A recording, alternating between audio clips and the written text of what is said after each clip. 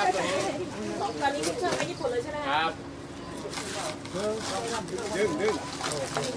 ป้าทำอะไรได้เป็นไรครับป้าลองเขาลองป้าดึงดึงป้าทำอะไรได้เป็นไรครับป้าลองเขาลองป้าเริ่มตอนต้นเพื่อที่ดูหน้าถ้าถึงดีๆอย่าดึงแรงเกษตรกรแล้ววันนี้เนี่ยแต่ว่านั่นเป็นเรื่องที่จะเกิดขึ้นหลังจากนี้เพิ่มผลผลิตทางด้านการผลิตโดยเฉพาะกล้วยหอมทองแต่ว่าเรามาวันนี้เนี่ย